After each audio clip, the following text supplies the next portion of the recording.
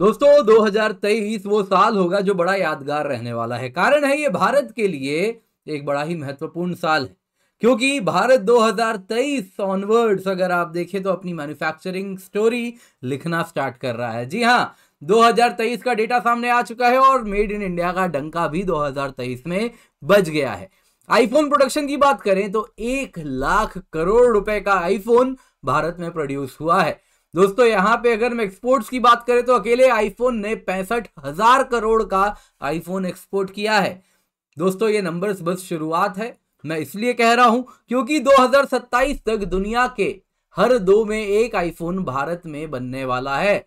China को हम displace करने वाले हैं। आप देख सकते हैं दोस्तों न्यूज़ आ चुका है आईफोन प्रोडक्शन किस प्रकार से भारत में शिफ्ट हो रहा है। नंबर्स की बात करें तो इस पर हम फिर थोड़ी देर बाद चर्चा करने वाले अभी आपको ओवरव्यू दे रहा हूँ। अगर आप देखें तो 2023 तक 20 से 25 प्रतिशत जो एक्चुअली अब 25 परसेंट है, वो आईफोन प्रोडक्शन एप्पल का फ़ोन प्रोडक्शन भारत में हुआ है। अभी भी तीन चौथाई फ़ोन प्रोडक्शन चाइना में ही हो रहा है। लेकिन जिस प्रकार से ट्रेंड देखने मिल रहा है तो जिस प्रकार से हमने पीएलआई स्कीम को बनाया है, ये नंबर बढ़ के 50 प्रतिशत होने वाला है।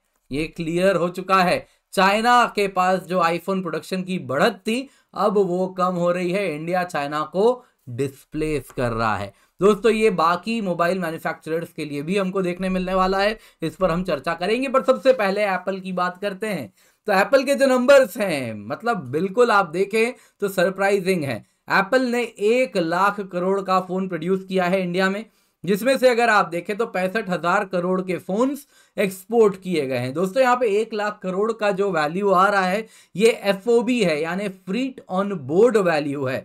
मतलब दोस्तों, ये वो वैल्यू है, जब किसी प्रोडक्ट की फैक्ट्री में क्या कीमत है? फैक्ट्री से निकलते ही उस पर टैक्स लगता है।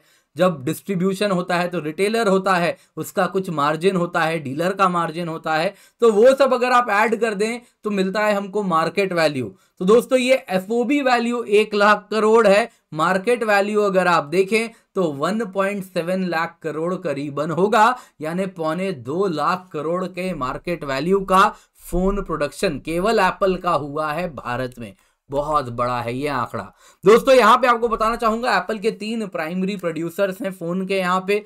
तीनों के तीनों कॉन्ट्रैक्ट मैन्युफैक्चरर्स हैं। पहला है फॉक्सकॉन फिर है पीगाट्रॉन तीसरा है विस्ट्रॉन जिसको टाटा ग्रुप ने एक्वायर कर लिया है। फॉक्सकॉन की बात अगर हम करें, दोस्तों, यहाँ पे आप देख सकते हैं, उसके पास अगर आप देखें तो उसने अकेले 68 percent of total iPhone production Bharat में फॉक्सकॉन अकेला करता है। ये जो आप सर्कल देख रहे हैं, ये पाई चार्ट है इसमें दोस्तों 68 परसेंट आप देख सकते हैं फॉक्सकॉन का है। इसके बाद अगर आप देखें तो पिगाट्रॉन है, जिसके पास 18 परसेंट प्रोडक्शन है, और इसके बाद टाटा का विस्ट्रॉन ग्रुप है, जिसके पास 14 प्रोडक्शन है। विस्ट्रॉन अभी बस शुरुआत कर रहा है। एक्सपोर्ट्स की बात करें तो फॉक्सकॉन दोस्तों भारत में भी काफ़ी ज़्यादा सप्लाई करता है 58 परसेंट क्योंकि प्रोडक्शन बहुत ज़्यादा है फॉक्सकॉन का, उसका 58 परसेंट वो एक्सपोर्ट करता है। वहीं अगर आप देखें तो उसके बाद आप देखोगे कि पीगाट्रॉन है, जो कि 80 परसेंट एक्सपोर्ट करता है, और विस्ट्रॉन ग्रुप आप पाओगे, वो तो भाई 96 परसेंट एक्सपोर्ट ही कर रहा है। क्यों? क्योंकि अभी प्रोडक्शन कम है अभी उसमें इंक्रीज होने वाला है। अगर हम एप्पल की बात करें तो उसके आईफोन के मॉडल्स जो हैं 11, 12, 13, 14, 15 ये सभी भारत में 2023 में बनाए गए हैं।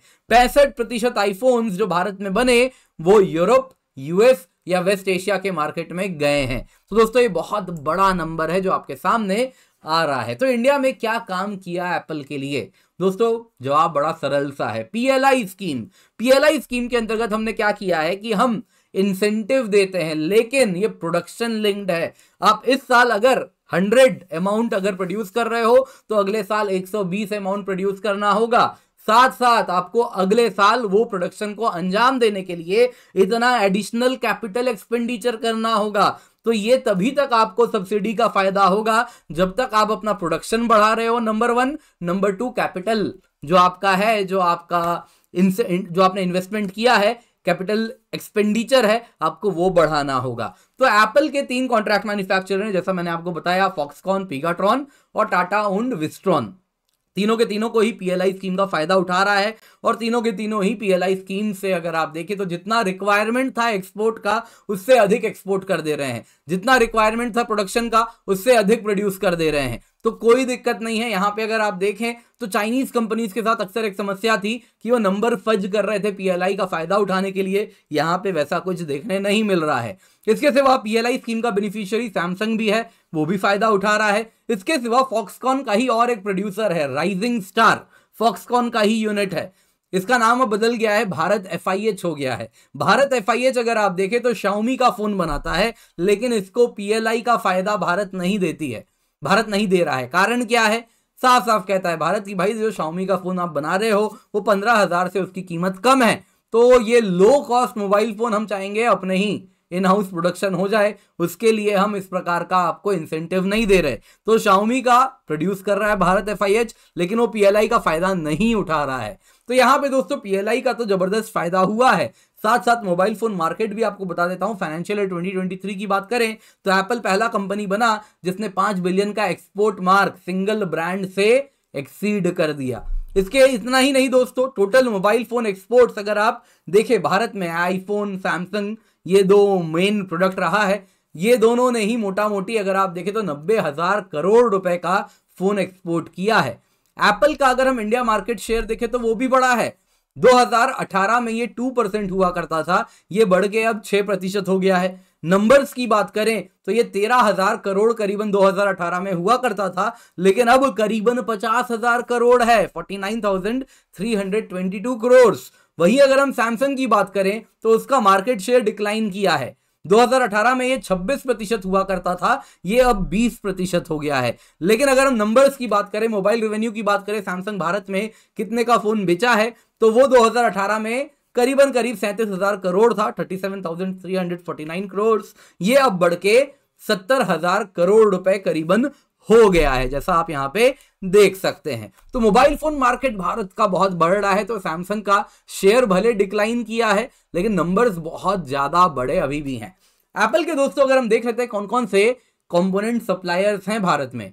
दोस्तों, यहाँ पे अगर आप देखें तो Cheng Uei precision industry company limited है, आंध्र प्रदेश में स्थित है। ये connectors, cable assemblies, power management devices, battery packs बनाती है। फ्लेक्स लिमिटेड है, यूएस की कंपनी है, तमिलनाडु में वह सभी स्थापित हुई है। Hon Hai precision industry, Foxconn तो है ही, आप जानते ही हैं। जाबिल इनकॉर्पोरेटेड महाराष्ट्र में आई है, यूएस की कंपनी है। एयरपोर्ट कंपोनेंट बनाती है। एयरपोर्ट्स होते हैं दोस्तों कान में, एप्पल का जो ईयरफोन है, उसका जो प्लास्टिक बॉडी है ये यही कंपनी बनाती है, पुणे में बनाती है और फिर इसको वियतनाम चाइना एक्सपोर्ट किया जाता है, जहाँ पे एयरपोर्ट्स, अगर आप देखें तो फर्दर असेंबल होते हैं तो उसका एक कंपोनेंट है प्लास्टिक वाला, वो पुणे में बनता है। इसके सिवा अगर आप देखें तो मोलेक्स है, कर्नाटका में है, नया एंट्री है एप्पल का, इंडिया के सप्लायर लिस्ट में। वैसे ही आप देखें तो लिंगी आईटेक है, चाइना की ही कंपनी है, ये मॉड्यूल्स चार्जर्स अडेप्टर्स बनाती है। ऑन सेमीकंडक्टर कॉर्पोरेशन है, यूएस की कंपनी है। ये अगर आप देखें तो फॉर्च्यून 500 कंपनी है, ये भी रिसेंट एंट्री है, तमिलनाडु में इसने अपनी फैक्ट्री बनाई है। शेंजन है चाइना बेस्ड कंपनी है, जो कि अगर आप देखें तो उत्तर प्रदेश में स्थित है। इसने डिज़ाइन प्रोडक्शन इलेक्ट्रॉनिक्स पार्ट्स वगैरह का डिस्ट्रीब्यूशन का कंपोनेंट वगैरह बनाती है। दोस्तों, यहाँ पे चाइना की बहुत सारी कंपनीज़ है, आप देख पा रहे होंगे। तो इनके लिए हमने कुछ एक्सेप्शन दिया था। इन कंपनीज़ को हमने अलाउ किया था कि ये इंडिया में आए, अपनी प्रोडक्शन फैसिलिटी लगाए।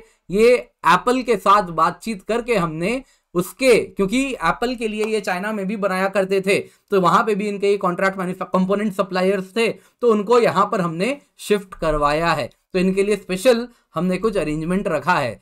इतना ही नहीं दोस्तों, और भी बहुत सारे हैं। शिंजन चाइना की कंपनी है सुनवोडा चाइना की कंपनी है, ये नोएडा में स्थित है। अदरवाइज़ आप सब देखोगे बेंगलुरु तमिलनाडु इन्हीं इलाकों में, दक्षिण भारत में आपको देखने मिलेगा। तो यहाँ पर हम एक चीज़ देख पा रहे हैं, जो दक्षिण भारत है दोस्तों, वहाँ पे अगर आप देखें तमिलनाडु, कर्नाटका, इन सब में स्किल्ड मैन पावर की अवेलेबिलिटी है वेज रेट्स रिलेटिवली हाई हो गए हैं मैन पावर शॉर्टेज भी है तो इस वजह से यहाँ पे हम हाई कॉस्ट मैन्युफैक्चरिंग लाना चाह रहे हैं। इलेक्ट्रॉनिक्स मैन्युफैक्चरिंग दक्षिण भारत टारगेट किया जा रहा है। वहीं उत्तर भारत, जहाँ पे अगर आप देखें तो मैन पावर सरप्लस अवेलेबल है। वहाँ पे आज भी आप देखोगे लो कॉस्ट मैन्युफैक्चरिंग पर फोकस किया जा रहा है। अभी उत्तर प्रदेश का ही आप देख लीजिए इन्वेस्टमेंट समिट हुआ। मेजर इन्वेस्टमेंट किस पे जा रहा है? फ़ूड प्रोसेसिंग इंडस्ट्रीज़ पे जा रहा है। टेक्सटाइल्स पे जा रहा है। लेदर लेदर इंडस्ट्री पे जा रहा है। बाकी टूरिज़्म वगैरह पे जा रहा है। तो ये सब क्या है? लो कॉस्ट इंडस्ट्रीज़ हैं। तो उसका कहीं ना कहीं यही इंडिया का भी अगर आप देखें तो डेमोग्राफिक प्रोफ़ाइल है।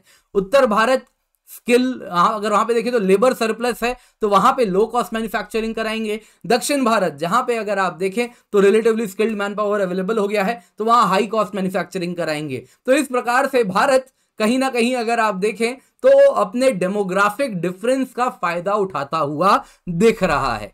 अब दोस्तों, यहाँ पे अगर आप देखें तो एप्पल एक्सलरेटर पे तो अब बस पैर दबाना शुरू किया है। अभी तो एक्सलरेट शुरू हो रहा है। आप देख सकते हैं दोस्तों, चाइना में अभी भी तीन चौथाई एप्पल का फ़ोन का प्रोडक्शन हो रहा है। आईफोन प्रोड्यूस हो रहे हैं। ये दोस्तों, अभी भारत में 25 प्रतिशत हुआ है। अगले साल ये 40 प्रतिशत होगा। 27 2027 तक 50 प्रतिशत का आंकड़ा हम टच करने वाले हैं। चाइना से ये कम होता जा रहा है। चाइना प्लस वन का भारी मार एप्पल खा रहा है। सैमसंग भी आप देख सकते हैं। वो भी 25 से 30 प्रतिशत सैमसंग के सारे फ़ोन भारत में बन रहे हैं, ये भी 2027 तक 40 से 45 प्रतिशत हो जाएगा। अन्य फ़ोन प्रोड्यूसर्स जो हैं, वो अगर आप देखें तो इंडिया में बहुत ज़्यादा उनका इंक्रीज नहीं दिख रहा है। इंक्रीज है, लेकिन बहुत ज़्यादा नहीं है। 25 30 अभी कर रहे हैं 30 पैंतीस 2027 तक करेंगे। ये अगर आप देखें तो वियतनाम में अपनी प्रोडक्शन फैसिलिटी बढ़ाते हुए देख रहे हैं। ये दोस्तों मोस्टली अगर आप देखें तो चाइनीज़ कंपनीज़ हैं, जो अन्य में आ रहे हैं, जो कि लो कॉस्ट फ़ोन वगैरह भी बना रहे हैं। इसको कहीं ना कहीं इंडिया भी रिस्ट्रिक्ट कर रहा है। भारत में तेज़ी से आने नहीं दे रहा है। तो यहाँ पे एप्पल और सैमसंग बहुत तेज़ी से इंडिया को अपना प्रोडक्शन फैसिलिटी की तरह बनाते हुए दिख रहे हैं।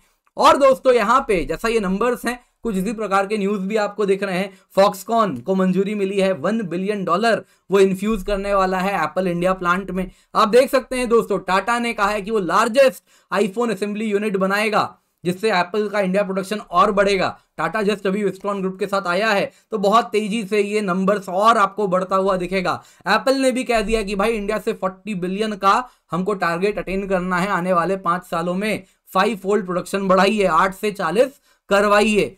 दोस्तों, इतना ही नहीं एप्पल इतना ही नहीं कह रहा। एप्पल कह रहा है फ़ोन भी असेंबली कीजिए साथ साथ बैटरीज वगैरह भी आईफोन 16 के लिए इंडिया से ही सप्लायर ढूंढना स्टार्ट कीजिए। तो कहीं ना कहीं पूरा एप्पल का इकोसिस्टम इंडिया आता हुआ दिख रहा है। तो आईफोन नो डाउट एप्पल का बहुत बड़ा पुश है आईफोन को इंडिया में बनाने का। और इतना ही नहीं दोस्तों, ये बाकी मोबाइल फोन्स में भी आपको देखने मिलने वाला है। दोस्तों, उम्मीद करता हूँ वीडियो पसंद आई होगी। लाइक ज़रूर कीजिएगा। भारत संवाद हमारा चैनल है, इसको सब्सक्राइब ज़रूर करें।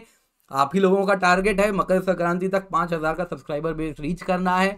तो इसमें हमारी मदद करें। अगर आपने अब तक सब्सक्राइब नहीं किया है तो कृपया करके सब्सक्राइब करें। और भी बहुत सारे वीडियोस आपको दिख रहे होंगे। बड़े ही इंटरेस्टिंग वीडियोस हैं। आपको दिख रहा होगा, इसको ज़रूर देखें। बहुत कुछ आपको उनसे भी सीखने मिलेगा। मेक श्योर sure इस वीडियो को भी आप लाइक करें और शेयर करें।